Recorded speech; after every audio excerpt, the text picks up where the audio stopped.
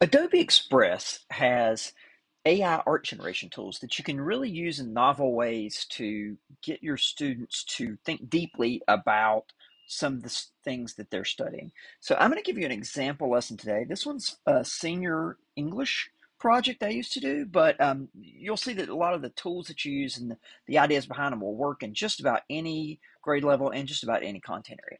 So to start with, you're going to log into Adobe Express, and I've got a video that you can go visit if you uh, need to know how to log in. Once you're here in the login screen, you're going to go down and we're going to go to, uh, we're going to go find the text to image section. Okay, it's always going to be the seahorse. It's a good way to tell the kids how to get to it. So we're going to go ahead and click on the seahorse. What that's going to do is that's going to bring up the text to image tool, and it will actually have the seahorse in here because it's trying to, to it's giving you an example that if you type in a seahorse with a colorful coral garden intricate detail, uh, it will give you artwork that matches that.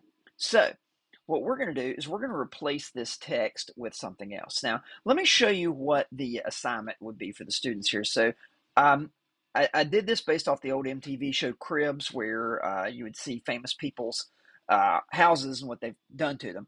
And so, the idea here is that Beowulf, the char- the main character, uh, you are going to be the decorator for his crib.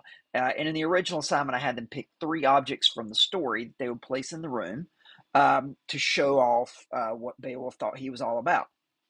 And that they could either, uh, in the old days, I had had it where they could either make a digital diorama or a physical one, and they had to pick three objects and do a description of why they chose them for Beowulf's crib. So let's go back uh, now that we've seen what we're working on. The first thing the students need to do is to get a picture of Beowulf's trophy room, and that's going to take a little little work with the students to do some review. And in this case, uh, if they've done some review, they'll know that that's a mead hall. So I'm going to tell it that I want a Anglo-Saxon mead hall.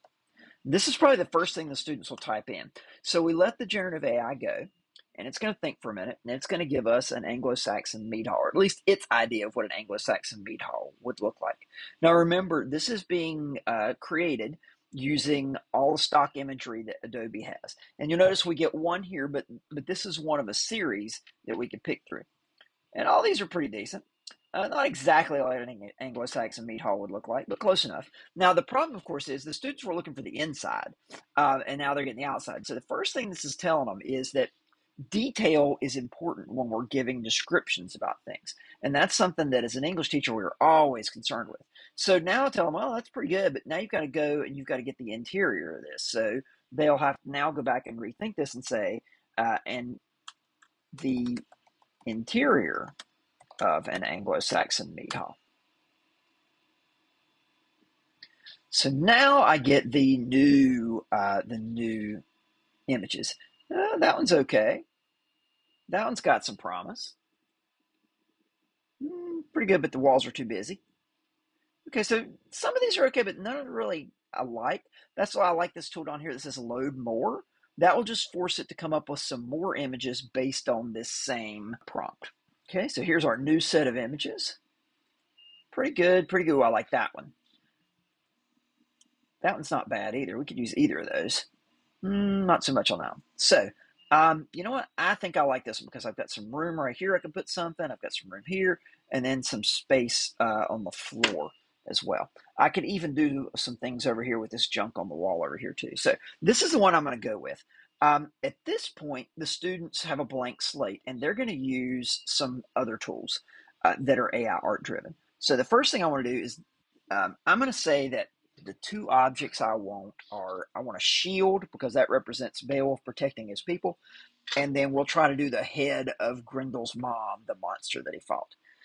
Okay, so the first thing I'm going to do is I can actually z- click on this photo and I can zoom in and look at this wall because this is where we want to put. Uh, let's put our shield right here. So I'm going to click over away from this text image tool. So I'll hit the X there. Now I'm back on the basic drawing tools. I may have to recenter. And I'm going to pick a generative fill.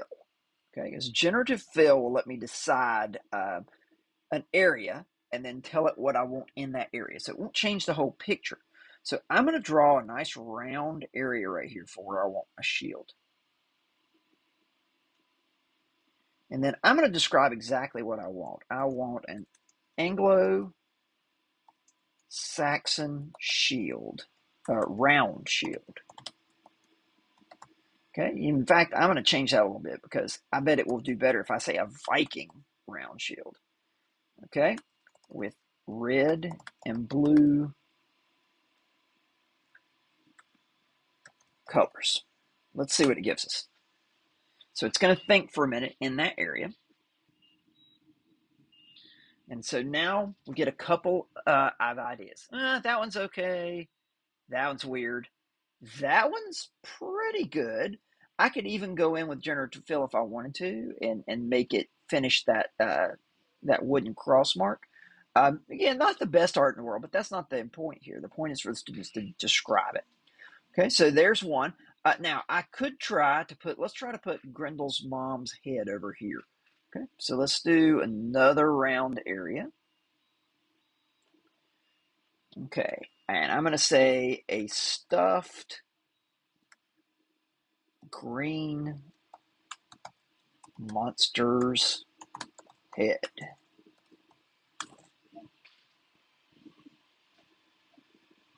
Uh, that one's funny.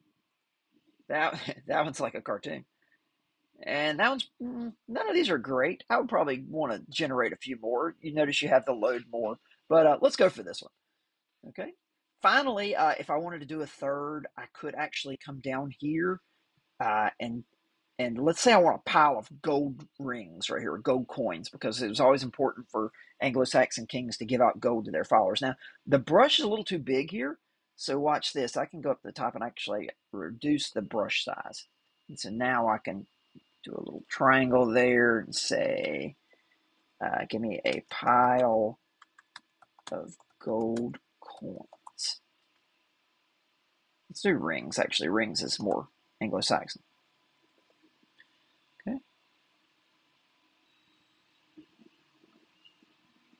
Hmm. Took me literally there and made single rings. Aha!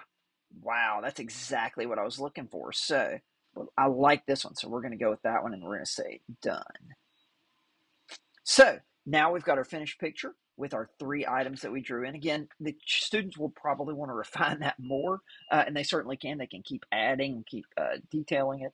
Um, but that is the basics of using the generative fill and the images uh, from words. So once the students are done, there's a number of ways they can turn this into you probably the easiest is to download this uh, and share it to you. The best way to do that is to create an assignment in Canvas where they turn in a file and then they can just turn in that PNG picture file. But that's just one idea of how you can use the generative fill and other AI art tools uh, to help your students learn to describe things and think about setting and character description. Thank you.